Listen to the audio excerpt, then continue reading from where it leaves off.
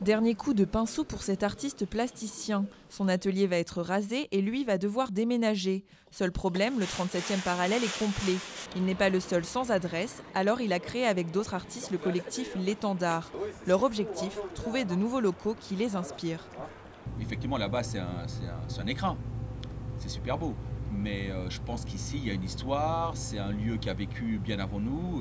Pas d'inquiétude en revanche du côté de la compagnie D. Sa place au nouvel endroit est déjà réservée. Les travaux ont pris du retard, mais fin avril, ils pourront s'installer. Aujourd'hui, ils pensent au départ avec enthousiasme et nostalgie. Il y a aussi euh, ce charme d'une friche industrielle où quelque part euh, chaque goutte de peinture, chaque trace laissée euh, participe à, la poésie du lieu. Alors que c'est vrai que dans un lieu neuf, quand on fait une tâche, bah, c'est une tâche en fait. Du son de guitare au son de marteau, direction Métré sur le chantier du 37e parallèle. En travaux depuis deux ans, les 3000 m2 du nouveau lieu artistique sont encore la peinture fraîche.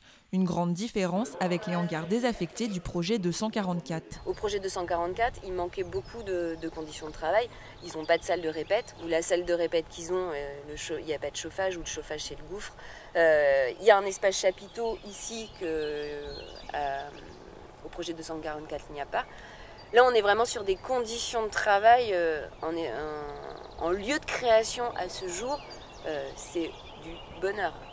Un bonheur qui a coûté plus de 3 millions d'euros à Tour Plus.